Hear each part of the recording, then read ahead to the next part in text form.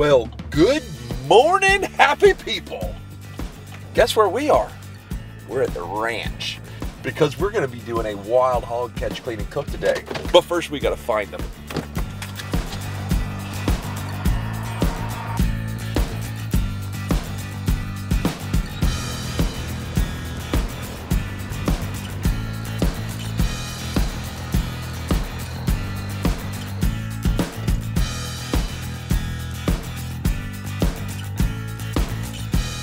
All right, y'all. Got the GoPro on. I got me some Hornady Precision Hunters, and I got my rifle in the back. Let's go.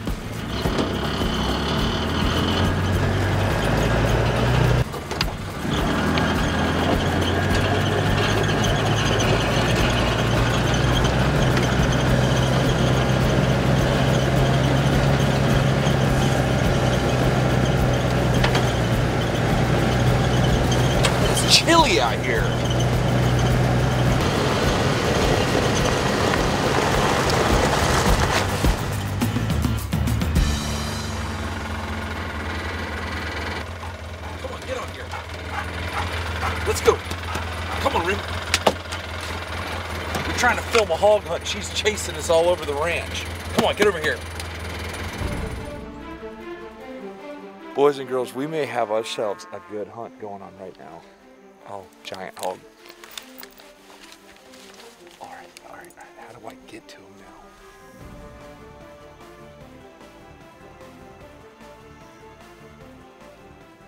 There is a monster. Okay, so look, look over my shoulder.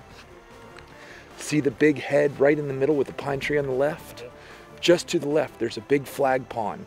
On the other side of the flag pond, the hog's there working to the left.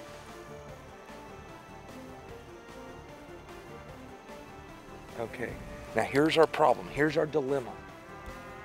The cows are gonna give us away. So we're gonna hook along there. We're gonna go to that head, work all the way out, and use that, use the bushes as, we gotta go. We got the boogie, y'all. Stay.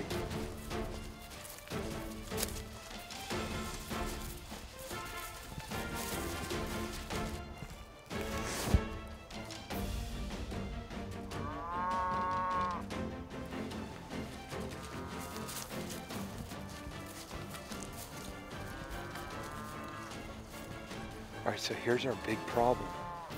We've got like 50 head of cows in between us and the hogs. And if we spook all the cows, then the hogs are gonna boogie. We're just gonna try to make it around them.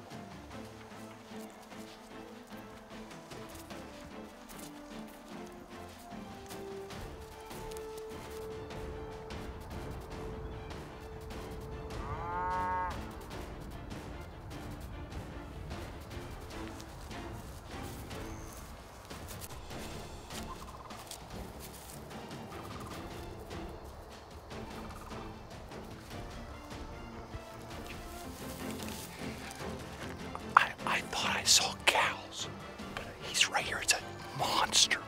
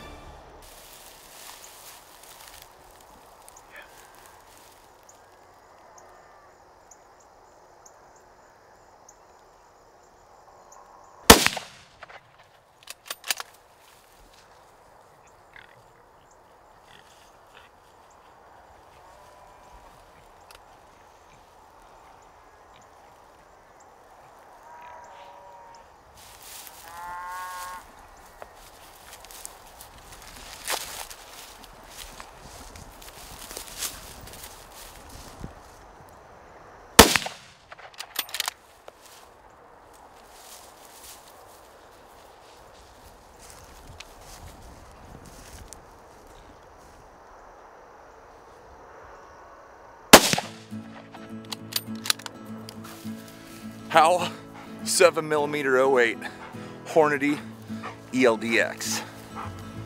Don't mess around, y'all. You know, this is all grass-fed, awesome beef cattle. Well, these hogs come out here and just root the place up, destroy it. So they told me, they said, you need to start killing some hogs. It's just very, very important. Coming into summertime, we need all our pasture land. We're gonna take all these hogs back to camp, clean them up. Let's go see what else we got. The keys to, to success today were understanding the wind, being patient, because as soon as we pulled up to this field, like five or six big hogs ran out. The hogs that I was actually after ran out of the field. So I just stayed patient. I kept using my binoculars, looking, looking, looking, and maybe 600 yards away out here in this flag pond, I saw just the tops of these two hogs' backs. Paid attention to the wind. I knew the wind was out of the east, so I worked around to the west. I used that big bunch of trees as cover, came around the back side of them, and then I was able to make three good, clean, ethical shots. And the only way you can do that is being familiar with your gun, spending time at the range, using quality ammunition, and being familiar with your weapon. And because we owe it to the game that we hunt to be accurate. I don't want to come out here and wound animals and let them run off injured.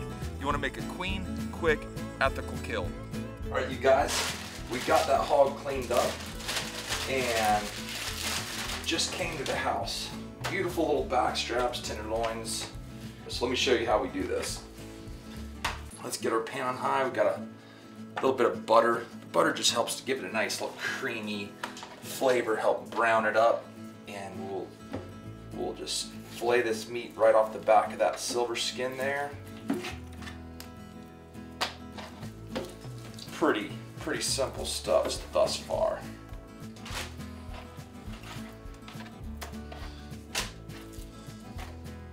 when you're when you're working with wild game, anytime you have meat that's bloodshot or bruised, you want to get rid of. You know, you want to.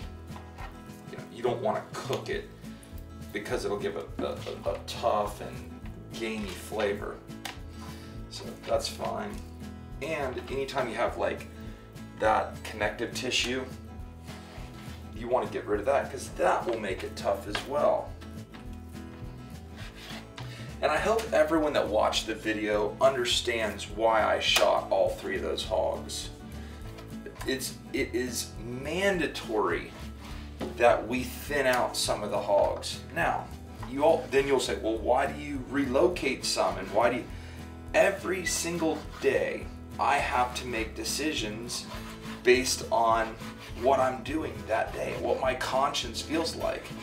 Um, if I can relocate a hog, or relocate a, any kind of animal, that's what I would rather do. But with these hogs, they were out there in that pasture doing exactly what we wish they weren't, which is rooting up the place. So we had to, we had to thin them out. Alrighty, now we'll take some fresh cracked pepper and some Everglades heat. We're making pop tacos, might as well. Season it up nice. Roll it all around. Try to get that season infused in the meat. Mm. This is gonna be so good, y'all. Oh yeah, baby. We're just gonna let that start cooking down.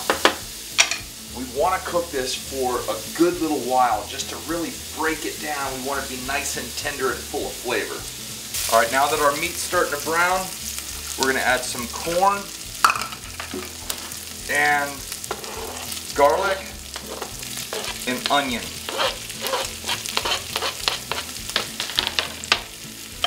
A little more pepper. A little more Everglades heat. And we're just gonna let that start doing its thing reduce the heat a little bit. Last little thing we're gonna do to bring, bring them to life, we're gonna squeeze some fresh lime juice in them. Just like that. That lime juice just makes it right.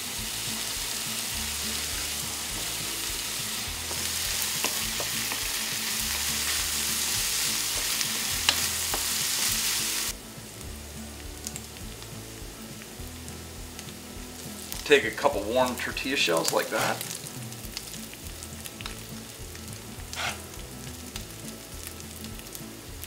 Mm. Look at that, y'all. Just loving goodness. Gonna get some cheese. On top of there. Little green onion. That is loving goodness. Wonderful. Guess what? We just had something happen that I've never had happen. Well, I've had it happen, but not lately. The tacos were off the chart good. Like, ask her. Very, very good. Yeah. Emma's eaten a few. Oh, that's rice and beans. Yeah. Yeah. Meat's too. We destroyed it. We ate all, all of it. But the the in, I, for some reason the file wouldn't play, so I couldn't include it in the video. I just want to let you know they were delicious, amazing, awesome, and you ought to try it sometime. You can try it with any meat you want, store bought or wild game that you hunted. Best tacos ever. Yeah, super super good. That's all we got to say. Hey, if you want, if you like this shirt, this hat, bunch of new stuff, check out deermeatfordinner.com. We gone.